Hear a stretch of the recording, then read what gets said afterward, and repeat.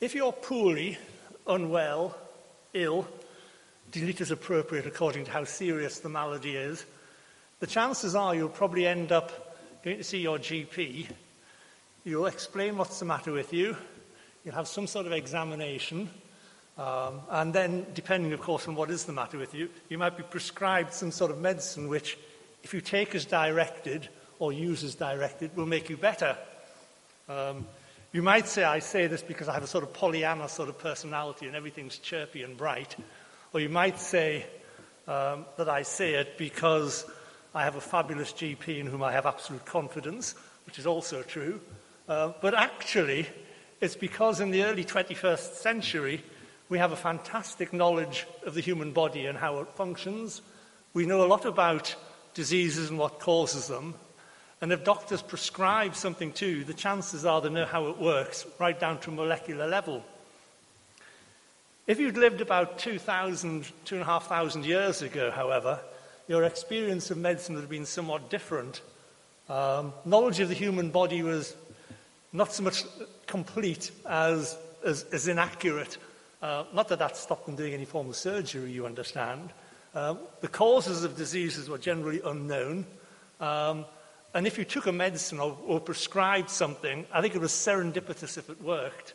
The side effects could be worse probably than the disease itself. Um, and if you survived, you're probably going to anyway because you had a good constitution, I think. I think it was all down to good luck. Um, that sounds, I admit, as if I'm being rather cynical and sarcastic and cutting about early physicians.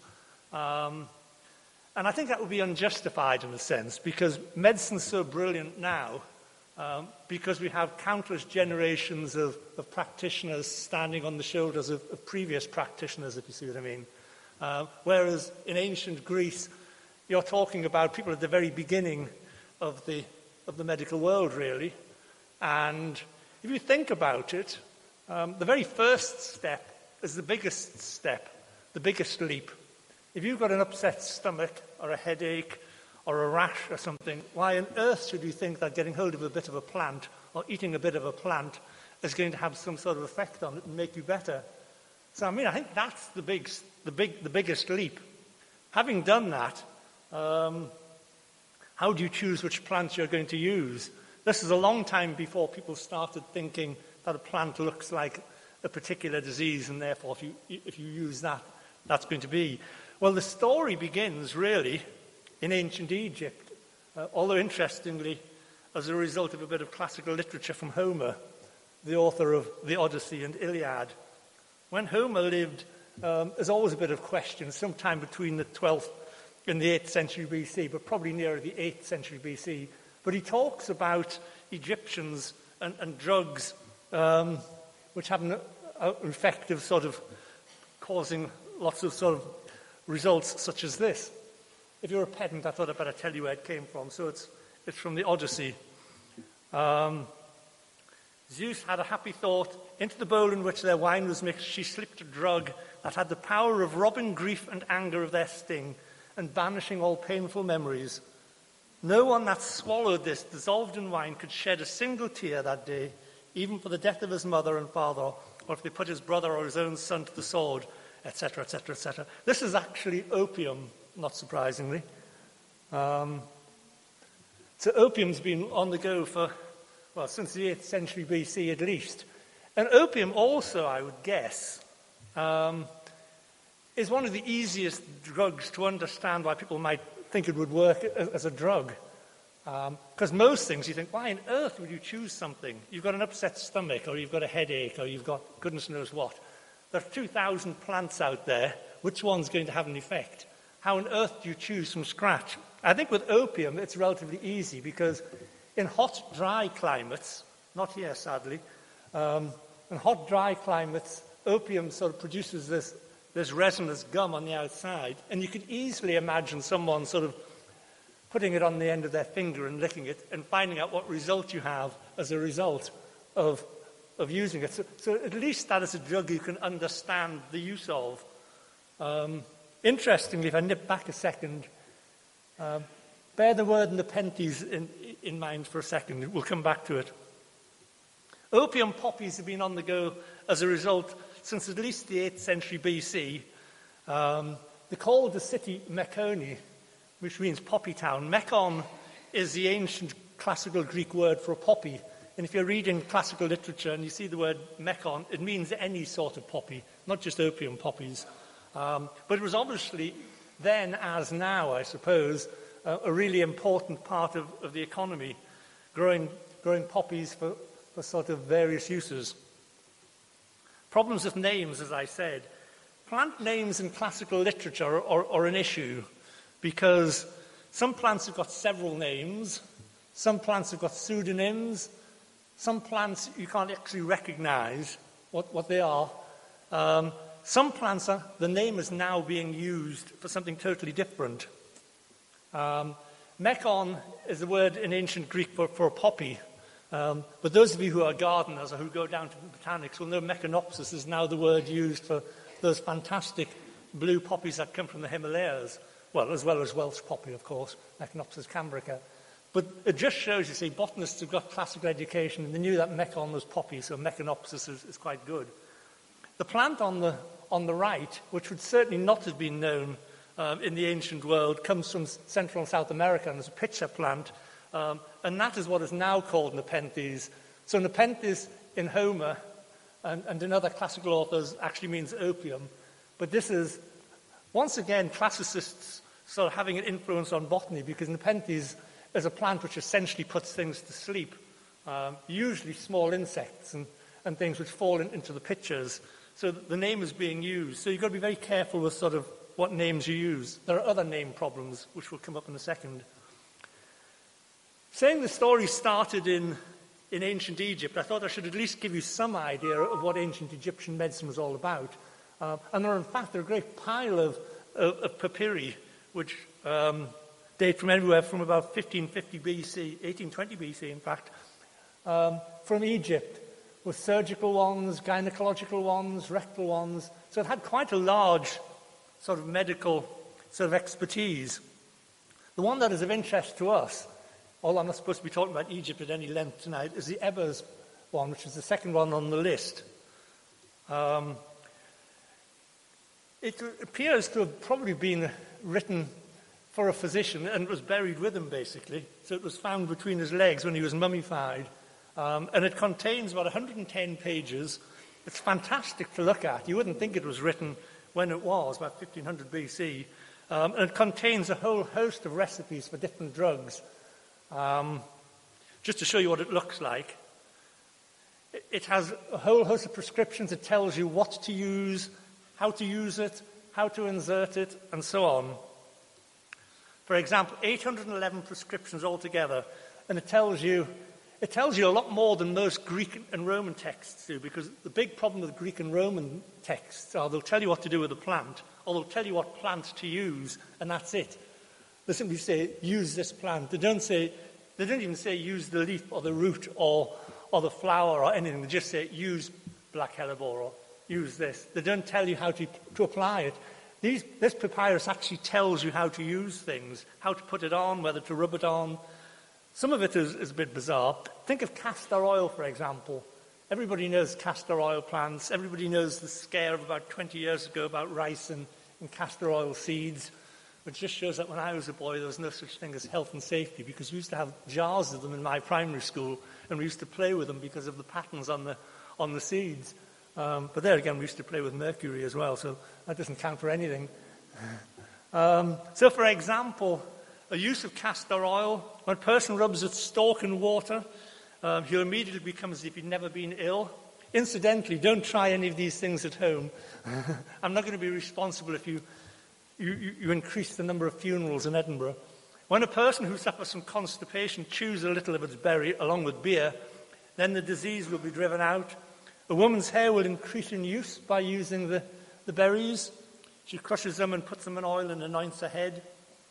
I love the last one. The oil from its berries is pressed out as an ointment for a person who has the Yuha abscess with stinking matter, which strikes me as particularly disgusting. And mercifully, I don't know what it is.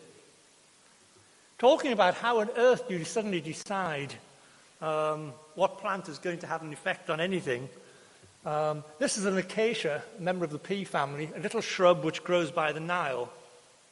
You would have thought it was a nice, innocuous little plant. How would you think it had any sort of medicinal properties? If you were a prostitute in ancient Egypt, um, it was forbidden for you to become pregnant, presumably because it meant you couldn't work and you lost income. I dare say the same applies now. I don't know. I'm not exactly au fait with the world of prostitutes. I think I've only ever seen two in my entire life. One who tried to pick me up in King's Cross when she was walking along the queue, and one in Newcastle who tried to pick me up when I was walking along the street with a nun. Um, however, acacia, believe it or not, if mixed with honey and applied in the right place, is actually a spermicide. So it actually works. And if you can't afford acacia or you don't have any access to it, then the alternative way of making sure you didn't become uh, pregnant um, was to smear yourself with crocodile dung. Frankly, I would have thought that was an infinitely more certain way of making sure you didn't become pregnant. That's essentially what that says. So, who am I really going to talk about tonight? I'm really going to talk about a number of Greeks. Um, I know there's only a small number of names. You have to remember that um, an awful lot of people would have, have been working in, in the medical field and, and, and prescribing things, and, and a lot of things went through word of mouth. So don't think simply because there's only half a dozen names, you've got half a dozen people. Everyone will have heard of Hippocrates. If you don't, his picture is more or less directly above the screen. Um, the father of medicine, the Hippocratic corpus, so called, is made up of about a hundred different medical texts on all sorts of different aspects of medicine. Um, what I'm going to do tonight is show you various bits of, of writing from, from a number of these authors so you get a sort of feel for the sort of information they have. The Hippocratic corpus, incidentally, is probably written by a whole host of different people. It's more or less the sort of publications of, of a medical school, basically. Diocles, now presumably about contemporary with Aristotle. There's been a certain bit of confusion about his dates. Um, so-called father of the herbal. Um, unfortunately, we don't actually have his herbal. All we've got is mentions of what he wrote in a variety of other sources. Theophrastus, Theophrastus is my great hero, the father of botany. Um, fantastic encyclopedia of botany written in the 4th century, early, late, late 4th, early 3rd century BC. Crateuas, Crateuas was the first person to illustrate things, which strikes me as bizarre because botany is such a visual subject. Um, to have botany without any illustrations, I mean, look at pictures of the Botanic Garden in the late 19th century and you see Bayley Balfour standing at, the front of a bench covered in plants and, and, and goodness knows what, and illustrations and books. Um, and Crateuas in the first century BC was the first person to do botanical illustration. We don't have that either, but there was a herbal produced in the early 6th century AD, at least 13 of the plates of which seem to be directly related to Crateuas.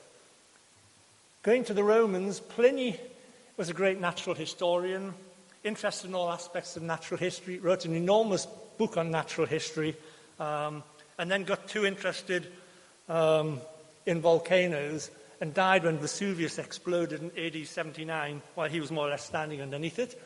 Um, so there are certain difficulties in being a natural historian. Dioscorides, Dioscorides is the most influential of the lot.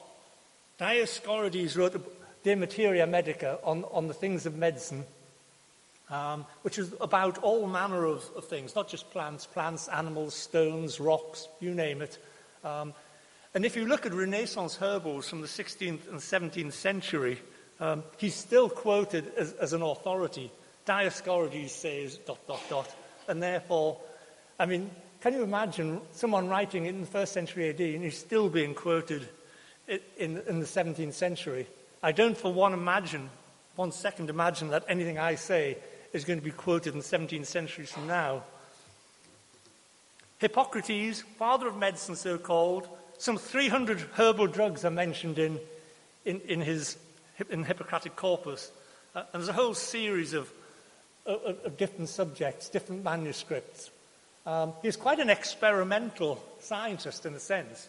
He didn't necessarily distinguish between plants and animals. So, there, in, for example, the nature of the child, um, he compares the growth of of, of, babies in the womb with the growth of cucumbers in, in, vessels, and the shape of the vessel and the size of the vessel influences the, the result of the fruit, just as the, the, shape and size of a womb influences a baby.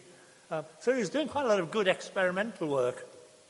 Um, thinking of things like this on the regimen in acute diseases is one of the most botanical ones. Um, and give you some ideas of, of, the sort of things he says. But you also see that he doesn't give you any indication of, of which bit of a plant to use or how to use it or what to do with it.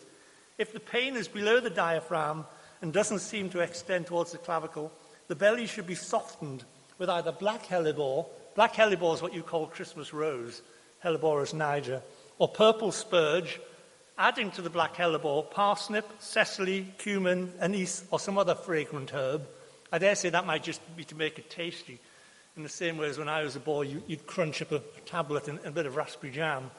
Um, these are also similar in effect, oh, and, and silphium. Silphium is a plant which you don't quite know what it was. It's probably a member of the carrot family.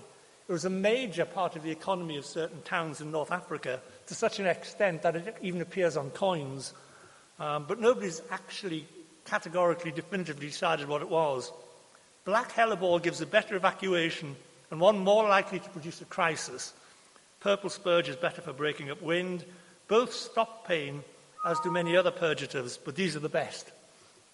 Just in case you've forgotten what a hellebore looks like, hellebores, incidentally, are a member of the buttercup family, all members of which are, are pretty poisonous and pretty, pretty awful. Um, if you've got friends or family you don't want, get a member of the buttercup family and you, you're on a good starter. Don't quote me on that. Um, purple spurge looks like that. Spurges are a member of, of euphorbia. Silphium, as I said, it appears on coins. These are some coins uh, from North Africa um, with silphium on. You might think it's rather odd having, I was going to say it's, it's odd having plants on coins, but until the 15th of October, our pound coins had a whole variety of plants on the back. Although, interestingly, most people I know never seem to have noticed that. Um, in a different text, once again talking about black hellebore, and black hellebore is one of the things which has some of the worst side effects, judging by, by the various paragraphs. Patients in whom purgation of the upper bowel is attended with difficulty should have their bodies moistened beforehand by administering more food and giving more rest before the prescription of hellebore. When anyone takes a draught of hellebore, he should be made to move about rather than rest or sleep. Sea travel demonstrates the efficacy of movement in producing a disturbance of the intestines. If you wish hellebore to act more efficiently, keep the patient moving. When you wish to stop its action, order rest and sleep. Hellebore is a dangerous drug for those with healthy flesh since it induces convulsions. I wonder how many medicines prescribed today cause convulsions, or indeed whether you would get away with it. Convulsions following the administration of hellebore are fatal. It's also good to give a dose of hellebore on the first and second days following an accident. So, a book on aphorisms, a book on fractures.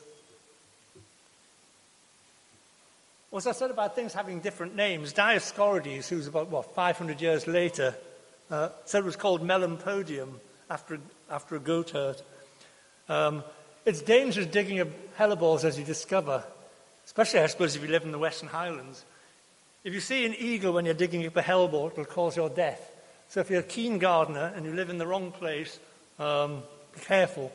The reason for stories like this, I mean, there are two or three stories or folklores about what happens if you, you're collecting plants. Um, I think it's essentially a way to stop people losing their income. Um, there are people called root cutters, rhizotomoi, whose job it was either to go out and collect drugs and either sell them to physicians or prescribe them themselves. Um, if you didn't want someone to go out and do it for themselves, then obviously you had to find some, story to stop them doing so. Saying by digging up a hellebore you were going to be attacked by an eagle uh, meant that Fred Bloggs, or, or whatever you want to call them, wouldn't go out and do it himself. It's not to be used on cloudy days and shouldn't be given to the very young, which is obviously because they're, they're not so strong, the old, ditto, or the effeminate. Whether you're allowed to say anybody's effeminate in 2017, I'm not sure. If you want to know why hellebores are, are, are so effective and so dangerous, um, they contain a variety of glycosides, Um, as I said, all members of the buttercup family contain various horrendous things. The roots of all hellebores are strongly emetic, potentially fatal. So you get some idea of, of sort of how strong some of these medicines are. What amazes me is why someone said, oh, I'll, I'll, try a hellebore in the first place. I mean, it, it just seems, in a sense, to be serendipitous if something works. The other thing, of course, is if you're prescribing things over several hundred years, Hippocrates was prescribing it, Dioscorides was prescribing it in the first century AD. Even and people like Gerard, presumably it, it does something. Nobody's going to prescribe something for century after century after century if it's not going to work. Um, how long do you, if, if you're a fan of Diana Gabaldon and Outlander, and judging by the shops in Edinburgh, half of the population of Edinburgh is, is, is a fan of Outlander, since it seems to have all manner of things, you will know that Claire Fraser prescribes black hellebore um, in at least 1744. Problems with plant names. Helleborus niger, black hellebore, is easy to identify from classical texts, whether you're talking about um, Hippocrates or Theophrastus or Dioscorides or whatever. But there are some plants which are just real, a real sort of problem. This is another one. There's a plant which is mentioned regularly in, in the classical texts called white hellebore.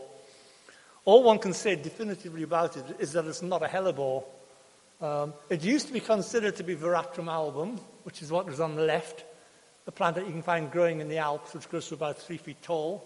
Um, most recently, classicists think it, it's foxtail lily, which is Eremurus, which is the picture on the right.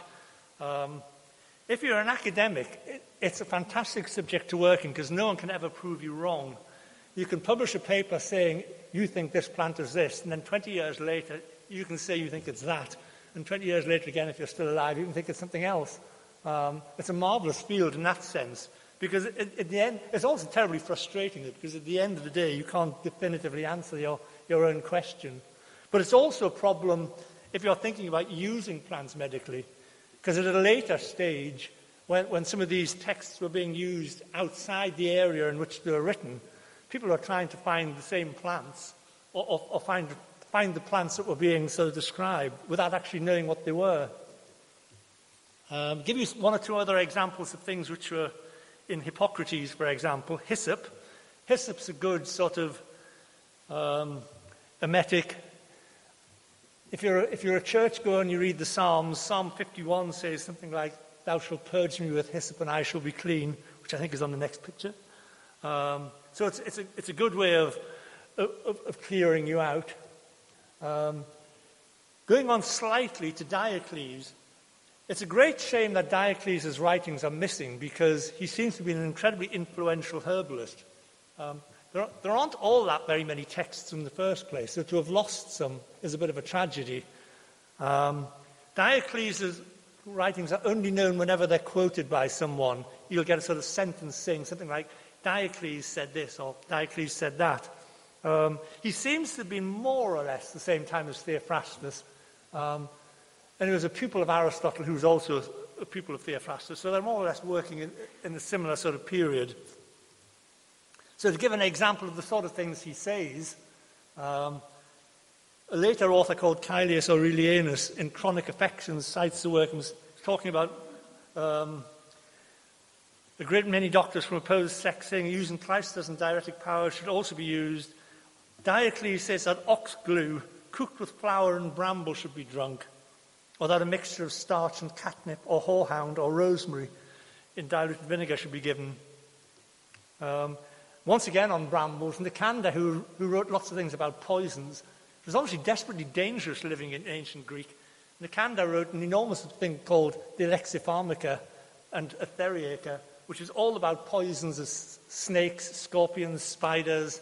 Um, several remedies for, for, for, what happens if, if you're stung by a sea monster, whatever a sea monster is. You should take at one time the leaves like wild lettuce or alkanet or potentilla, cinquefoil, or the crimson flowers of the bramble. Slight aside, simply so you get some idea of what illustrations look like. Um, People once told me that early botanical illustration was, was so grim you couldn't recognize anything from it. Um, and I think that's completely wrong, and, and both these pictures demonstrate it. What did happen is that people, there was an early manuscript, the one on the left dates from 512 AD, and there's a copy of Dioscorides' De Materia Medica. And I think that's a fantastic picture of a bramble. All the things that you can see in a bramble are there. The sort of the roots on the, the bottom as it creeps along, the leaves, the shape of the leaves, where the fruits are. What then happened over the next few centuries is that people kept imitating, the, just copying the manuscript. So the quality of illustration went down and down and down because nobody actually ever bothered to look at the, at the real plant. Um, suddenly, as you see in 1120, some monk um, started doing a drawing actually looking at, at a plant again, and, and, the quality of illustration sort of shot up. I think both those are really good things. Either of them could have been drawn in my garden in the last month. Make sure that it's not just flowering plants that were being used. Um, sadly, I wrote this. I read this chapter of Theophrastus too late for it to be of any use.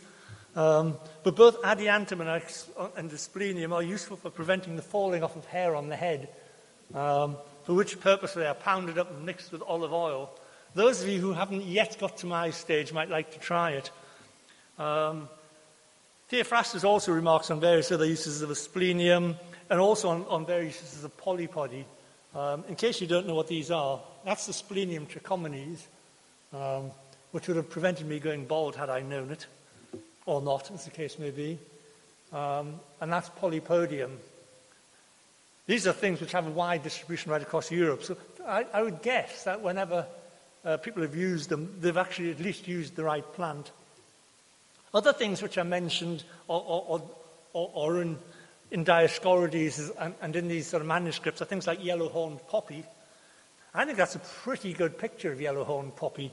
Um, if you want to know what the real thing looks like, it grows on, on, on the beach um, just to the east of Cove, on the, on the sort of Berwickshire East Lothian border. It's, it's essentially a coastal plant. And that's one of the best drawings in, in the manuscript, I think. Um, decoction of the roots is recommended for liver pains. The seed is a purgative. The leaves in the form of a compress are used to, to treat sores. You'll find most of these medicines do half a dozen different unrelated things. Well, that's what it looks like. An attractive member. Um, but once again, it would be called mecon, so you have to sort of read it in context to work out which poppy is being talked about. Centaury. I like centauries because I like some of the illustrations in manuscripts. Um, the genus of the herb was originally named after Chiron, a centaur, who was famous for his knowledge of medicinal plants. Um, according to legend, Chiron healed himself with this plant after accidentally wounding himself with one of Hercules' poisoned arrows, Dioscorides alluded to the myth, therefore, and prescribed centauries of treatment for wounds. Also recommended the, for, the herb for lung disorders, namely the old cough and blood spitting. Um, interestingly, I mean, some of the illustrations in Codex Vindobonensis look fantastic, and you can recognize the plants. Think of bramble. I don't think that looks anything like centaury, if truth be told, which looks like that. Um, interestingly, in later manuscripts, it's usually depicted um, with the centaur actually holding it. And I think that looks rather good. That would look fantastic on the inside of the lid of a harpsichord or a grand piano or something, I reckon. I mean, it's perfect. Ditto there. Which also, incidentally, um, illustrates how some plants look absolutely nothing like the illustrations. The trouble with illustrations or with these manuscripts is that the manuscripts um, got to the stage where they weren't being used by the people who would actually want them. Most of the sort of medical texts would have been sort of learned and, and spoken of and, and transmitted verbally. And manuscripts like this were sort of high power gifts which ended up being owned by sort of wealthy men or, or, or potentates who weren't remotely interested in, in the actual content, but in, uh, but in the illustration and, and the quality of the thing. That's what Rumex incidentally looks like. Rumex, I think, is the one on the bottom left of that picture. Um, and that's what it's supposed to look like. Absinthe, if you're into absinthe, um, you discover it's actually been used as a, as a drink right back in, in, in the first century. Wormwood is a bitter herb used as a stomachic, a vermifuge, that's to say, get rid of worms, a remedy for jaundice, and a flavour for absinthe. According to Dioscorides, it was a popular drink, believed to maintain good health. Interestingly, you can also use it um, to get rid of mouth, moths and mice in clothes drawers. Um, and that's what it looks like. Winter cherry. See, that, I think that's a pretty good illustration. I'm sure if you, if you wandered around the gardens of, of Edinburgh today, you would recognize winter cherry. Um, now called things like Chinese lanterns.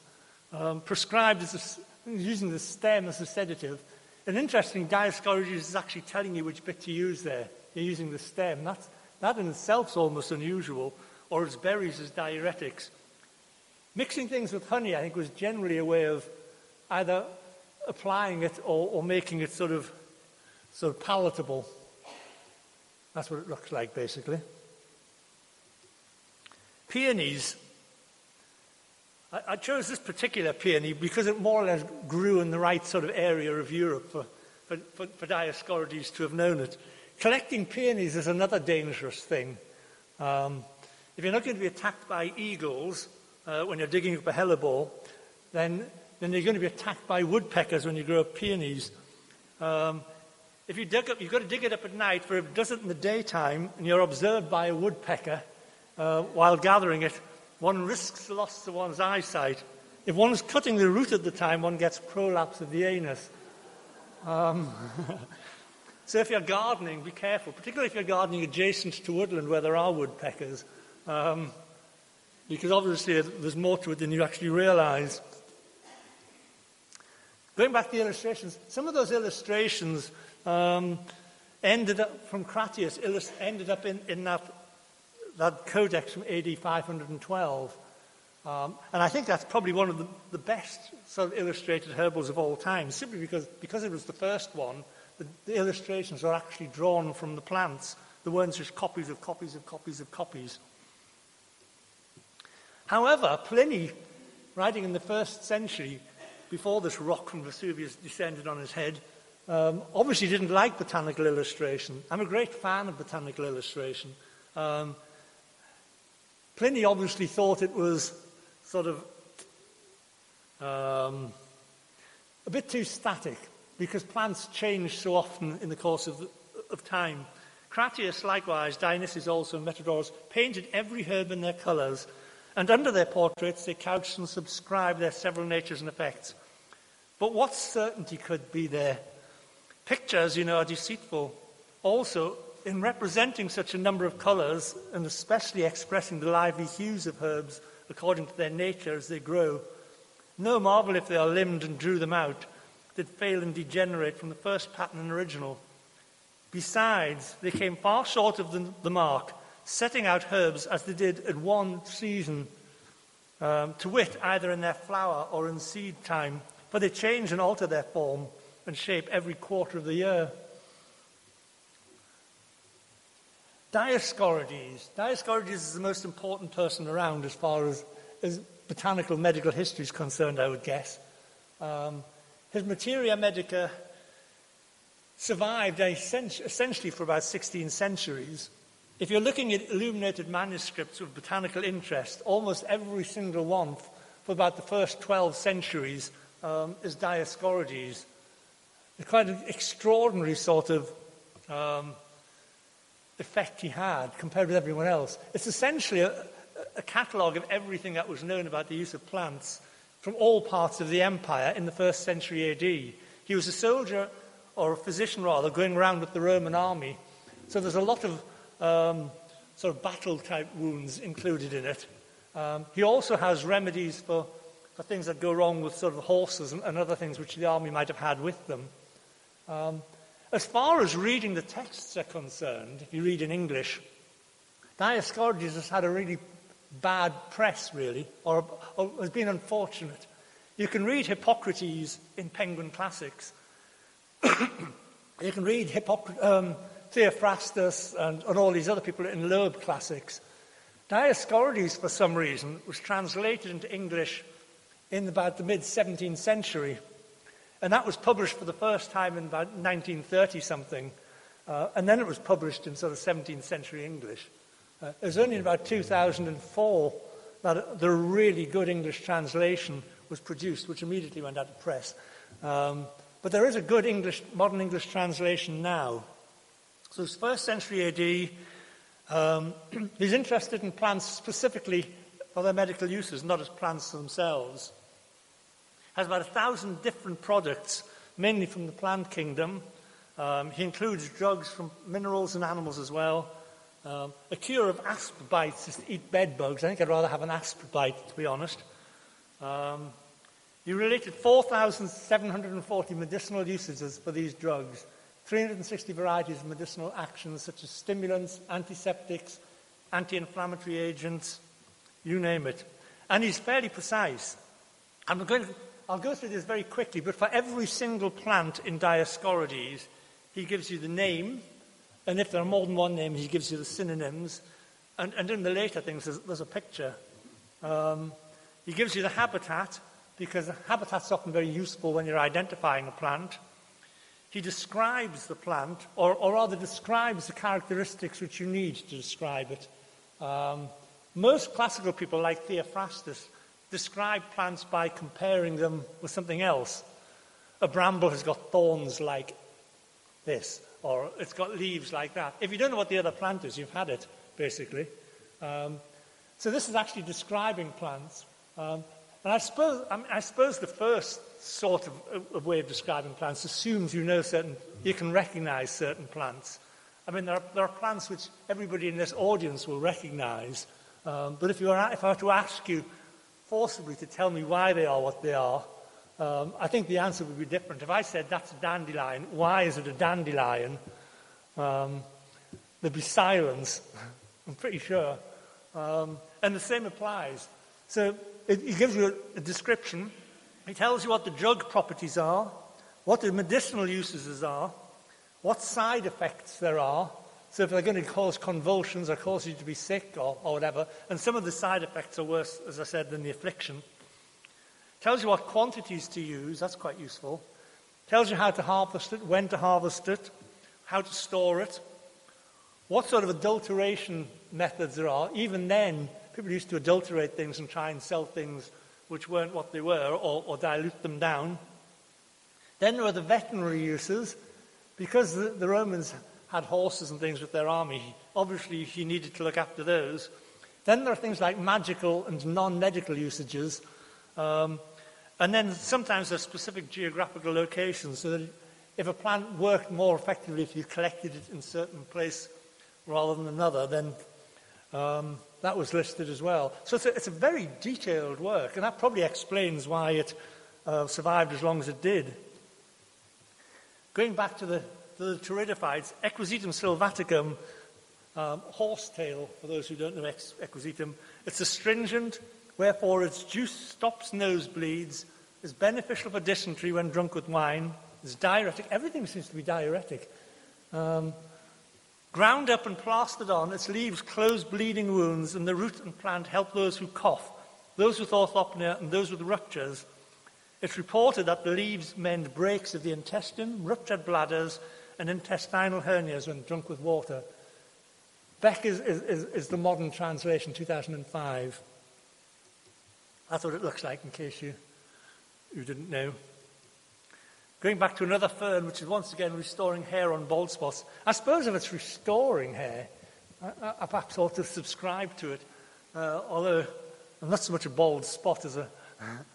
Plastered on for malignant sores, dissipates scrofulous swellings of the glands, wipes dandruff and scurf clean, um, and with gum laudanum and with oil of myrtle or unguent of lilies, or with hyssop and wine, it prevents hair from falling, as does its decoction when used as a cleanser.